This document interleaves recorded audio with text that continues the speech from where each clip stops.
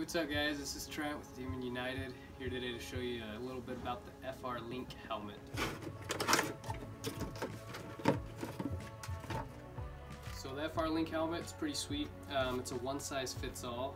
So dude, back here on this back part you have a tab uh, for the head cage. You can tighten or loosen however big or small your head is. Um, as well as within the package it comes with some additional inserts that will go on your the jaw portion these pads are a little bigger, so if your head is a little smaller, or if you like a tighter fit, uh, these can be removed and replaced with those.